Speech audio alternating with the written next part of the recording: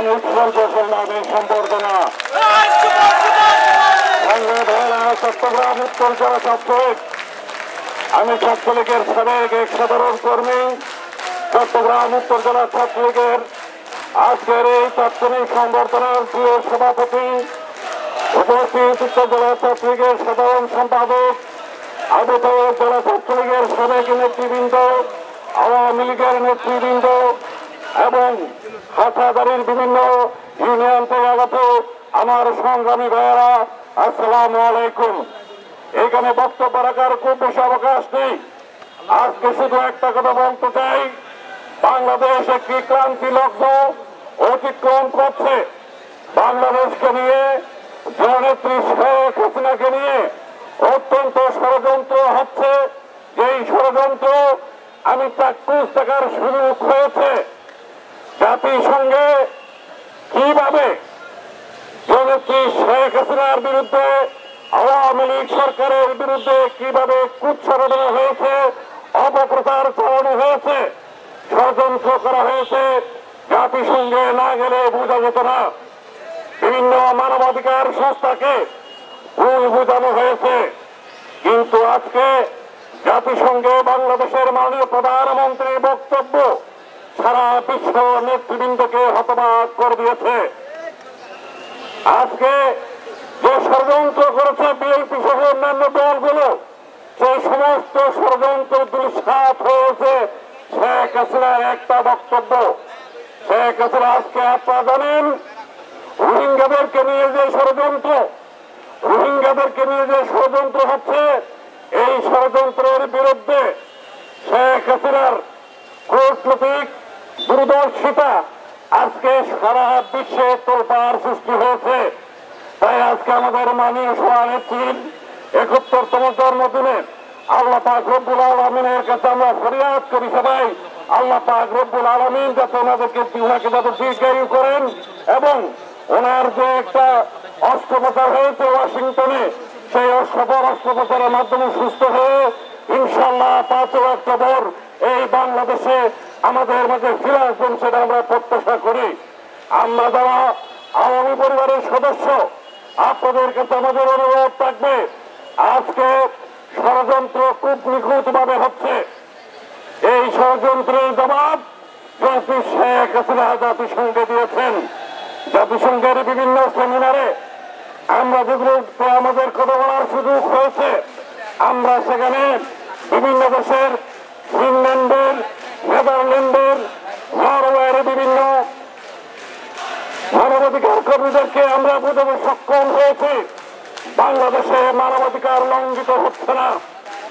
অতীতে যেভাবে মানবাধিকার লঙ্ঘিত হয়েছে এইভাবে বিএনপির আমলে আমাদের এগুলোকে হত্যা করা হয়েছে। আমাদের অসংখ্য নেতা কর্মীদেরকে হত্যা করা হয়েছে। বিগত আওয়ামী আট বছরে ওই বিএনপির কোন নেতা কর্মীদের উপর যারা সন্ত্রাসী, তাদের বিচার হয়েছে। আর কোন সুস্থ রাজনীতি যারা করে, তাদের উপর কোন হামলা হয় নাই। তাই আজকে যেমন রোহিঙ্গাদেরকে নিয়ে ষড়যন্ত্র করতে চেয়েছিল বিএনপি, রোহিঙ্গাকে নিয়ে ষড়যন্ত্র করতে চেয়েছিল ভারত রোহিঙ্গা নিয়ে ষড়যন্ত্র করতে চেয়েছিল চীন। সেই সব ষড়যন্ত্র আজকে গতিশীল নেতৃত্বে। আগামীতে জাতীয় সংসদ নির্বাচন হবে।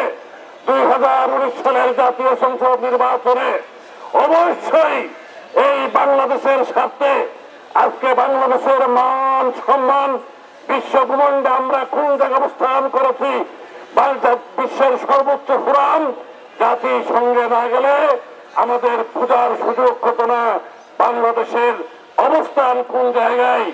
বাংলাদেশের প্রধানমন্ত্রী ডোনাল্ড ট্রাম্পের পরে কাউকে যদি নিরাপত্তা দেওয়া হয়, ডোনাল্ড ট্রাম্পের পরে কাউকে যদি সম্মান দেওয়া হয় জাতিসংঘে, সেটা শেখ হাসিনাকে দিয়েছে।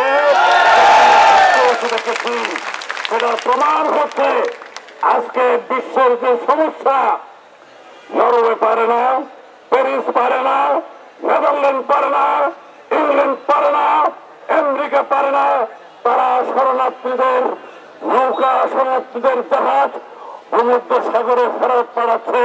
হাজার হাজার শরণার্থী লাশ হচ্ছে, সাগরে বিলীন হয়ে যাচ্ছে। আর সেই জায়গায় শেখ হাসিনা জাতিসংঘে ব্যর্থহীন কণ্ঠ বলেছেন, পাঁচ লক্ষ নয়, পাঁচ কোটি যদি শরণার্থী বাংলাদেশে প্রবেশ করে, তাদের হজম করার ক্ষমতা আওয়ামী লীগ সরকারে রয়েছে।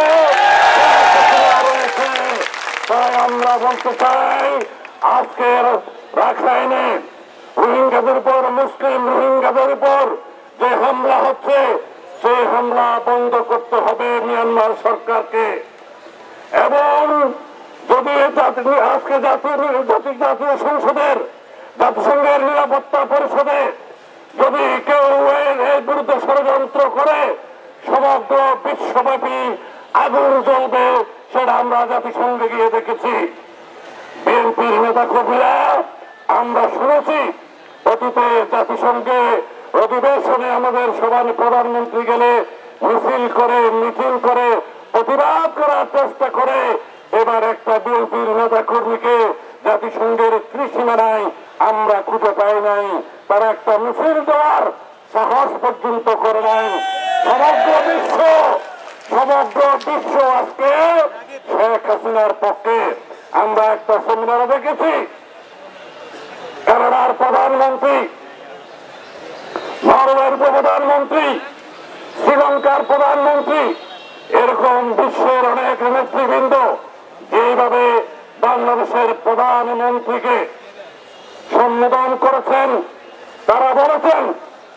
আজকে বিশ্বের যদি কোন মানবাধিকার নেত্রী থেকে থাকে, সেই নেত্রীর নাম হচ্ছে শেখ হাসিনা।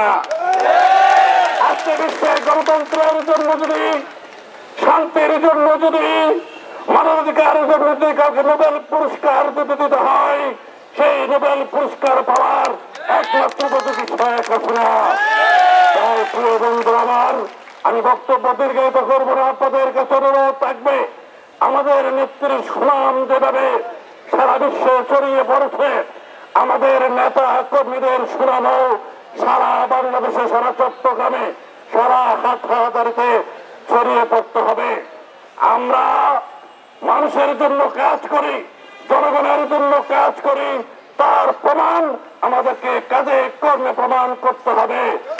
দুঃখজনক হল সত্য, ইতিমধ্যে হাত হাজারিতে হাত হাজারের বক্তব্য করে দেওয়া উচিত নয়। তারপর আমি শুনেছি, আশা হাত হাজারের দল এই ফরহাদাবাদ মির্জাপুর থেকে নেপাল থেকে আসার পথ আমাদের কর্মীদেরকে বাধা দেওয়া হয়েছে। আমি স্পষ্ট ভাষায় বলতে চাই, আমি এসপি সাহেবকে ফোন করেছি, এডিশনাল এসপিকে ফোন করেছি, ওসি সাহেবকে ফোন করেছি। এর দ্বারা বাধা দেওয়ার চেষ্টা করেছে, এর পরিণাম কিন্তু ভালো হবে না।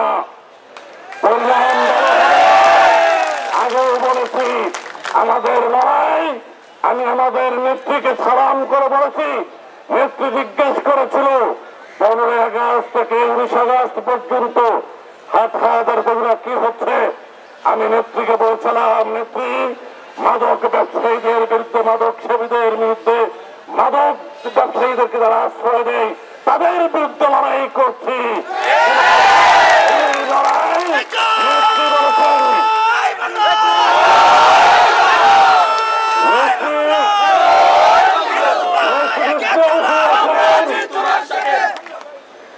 নেতৃত্ব দিয়েছেন এই লড়াই অব্যাহত রাখার জন্য তাই মাদক ব্যবসায়ীদের বিরুদ্ধে লড়াই করতে গিয়ে কে আওয়ামী লীগ, কে বিএনপি, কে জামাত, কে জাতীয় পার্টি, কে যুবলীগ, কে ছাত্রলীগ, কে ছাত্রদল, তা আমরা দেখার কোন সুযোগ নাই। মাদক ব্যবসায়ীরা যেখানে অবস্থানে থাকুক, তাদেরকে প্রতিরোধ করতে হবে, তাদেরকে সমুৎপাত করতে হবে। আজকে আমাদের প্রিয় নেত্রীর একাত্তরতম এই জন্মদিনে এবং আজকের এই তাৎক্ষণিক সংবর্ধনায় আমাদের এই হোক শপথ সবাই আমার সাথে স্লোগান করেন শুভ শুভ শুভ দিন। শেখ হাসিনার জন্মদিন। শুভ শুভ শুভ দিন। শেখ হাসিনার জন্মদিন। শুভ শুভ শুভ দিন। শেখ হাসিনার জন্মদিন